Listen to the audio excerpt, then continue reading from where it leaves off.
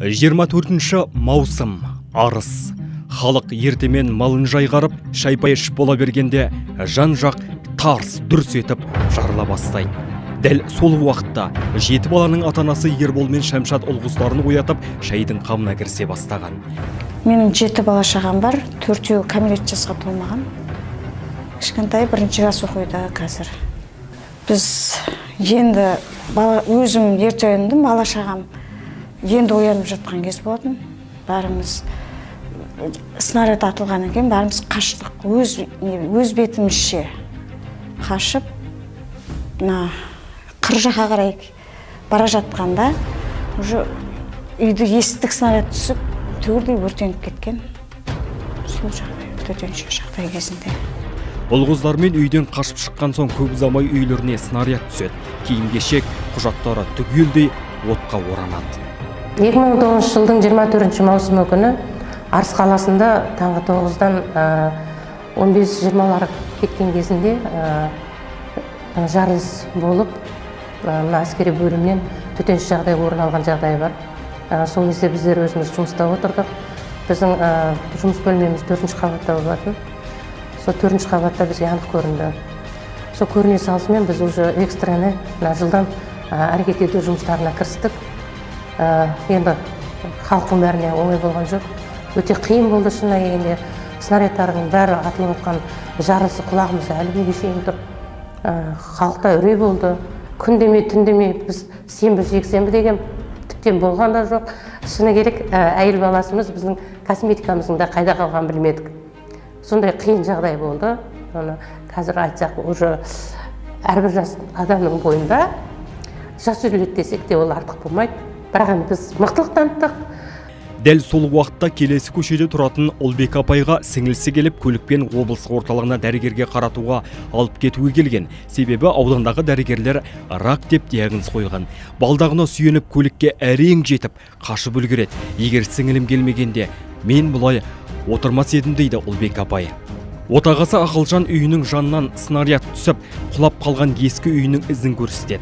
Ақылжан ағаның інісі арысқа оқ жауған күні жарақат алып қайтыс болады. Ал жеңгесі жараланады. Тоғыз бар ғой сағат тоғыз. Тоғыздан кейін он мен екі қай жаққа білмейсің ғой үйден шыққаныңды иә. Мына жаққа түсіп алып мына жаққа түсіп алып қай жаққа барасың? Бәріміз ана жаққа қарап қанашын айдалады әйелім қайда қыздың үйінде бәрі кетті.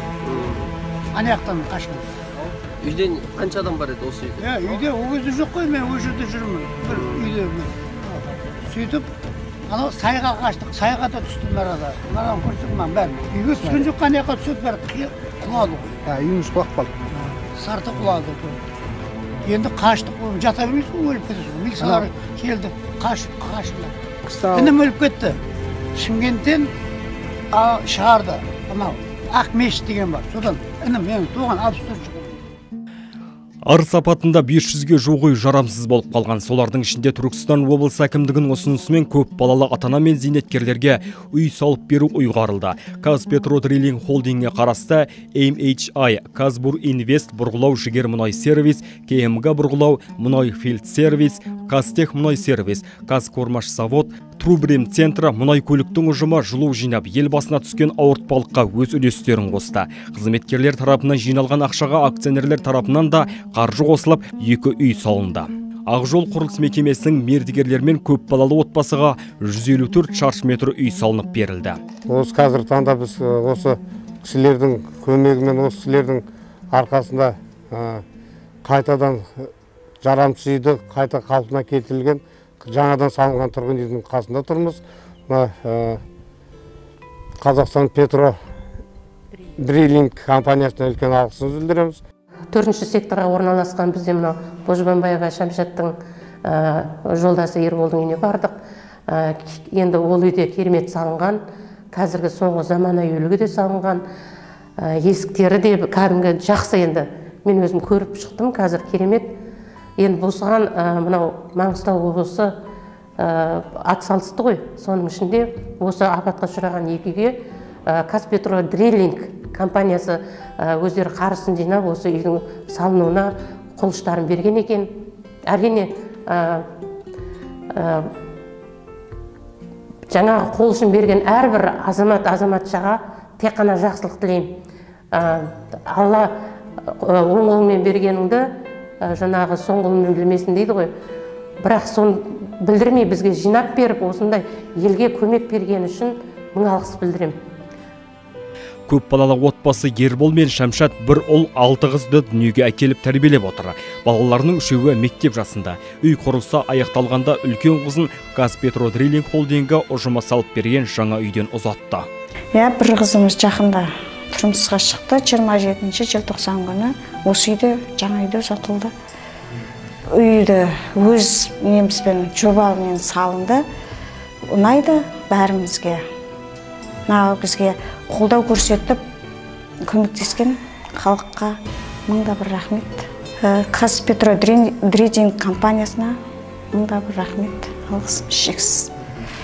Келесі көшеде тұратын зейнеткерлер ақылжан мен ұлбекеге де дәл осындай үй салып берілді. Бұл үйдің мердігері заман құрылыс компаниясы. Ал келіңдер балдар. О сәлеметсіз келіңіздер. Қонысыңыз құтты болсын. құдай құтты болсын. Ал үйіңізбен таныстырыңыз. Міне міне сіздердің салып берген үйлеріңіз бірінші аллаға одан кейін сіздерге міне мынау зал көріп тұрсыздар зал қаншада қанша жетіде ма нәрсе сондай? Жетіде үш бес жарым ба сондай? Өзім ризамын енді бұған. Болсын. А, құдай құтты болсын. жиырма төрті күні апатқа байланысты біз білген жоқпыз ғой ол төтеннен келген ешкімнің ешкімді кінәлай алмаймыз. Ол апат деген нәрсе алладан келетін бір сынақ шығар арыс қаласының өзінде. Бір біріміздің ынтымағымыз бір бірімізге деген жанашырлығымыз мұсылмандығымыз имандылығымыз өте мықты екеніне маған көзім жетті. Мынау холл мына жері сәлеметсіз мына ы, мынау асхана кухня. Міне ішке кірін кіреді бала. Міне сіздерге салып бергеннен кейін әдемі болғаннан кейін әдемі нәрселерді қойып қойдық. Ешқандай мына бұйырған шығар алла. Осы келді жаңағы маңғыстаулықтар бәрі. Ешқандай балдарға айтатын ренішім жоқ. Міне көріп отырсыздар бәрін жасап берді. Мен шын көңілімнен айтамын оны. Мынау жатын бөлме бірінші негізінде өзім ниеттеніп шалымыз екеуміз ә, жаңағы сол жатын бөлме деп неғылдық шештік. Мынау екінші тағы да спальный жатын бөлме бұл да М. қатардан үш спальный түсті ғой. Жақсы кең жарық. Немерелеріңіз жатады ғой осында құда қаласа бойдақ балам бар бойдақ баламды үйлендіремін сол жатады. Құда қаласа мынау енді үлкен балам. Үйленген екі бала шағасы бар. Қазір уақытынша бөлек тұр. Міне соның бөлмесі. Балдар келді үйімді салып берді. Әйтеуір үлкен ұлым жаңағы жүрді қасында мен жүре алмадым сол жүрді. Ә, қандай компания? Қазпетродрилинг қазпро петро қазпетродрилик Ә, сіздердің берген бізге ә, тиындарыңыз құда қаласа алладан қайтсын. Ә, берген құдайларың қабыл болсын істерің оңды болсын қай жерде болсын ынтымақ болайық. Жаңағыдегі жақсылық болсын. Іші керемет заманауи үлгіде салынған бұл кісілер тек қана рахметін айтып жатыр. Бұл кісілер ғана емес бүкіл қазақ еліне біздің мына арыс халқы тек қана алғыстан басқа айтары жоқ. Сол үшін мына қазақ халқы мына біздің арыстықтардың тек қана алғысынан басқа ештеме жоқ. Мына өзіміз арыс біз біргеміз деген ұранды ұрандатып бізде қанша адамдар келіп азық түлікпен болсын көмек ақшалай болсын. Қаншама көмектерін көрсетті. Жаңа үйлерге кірген ұлбек апай мен көпбалалы ата ана ербол мен шәмшат қазпетродрейдингке қарасты жоғарыда мекемелердің үй салып бергеніне қайта қайта алғыс айтысты. Елдің бірлігі ел басына күн туғанда білінер дегендей бүкіл қазақстан болып арыстағы ағайынның қолтығынан демеп жабырқау көңілдеріне жұбаныш болды. Ұлт болып ұйыса білген іргелі ел екенімізді білдірген әрбір азаматқа мың алғыс. Жасаған жақсылықтарыңыздың қайтарымы жаратқаннан болғай.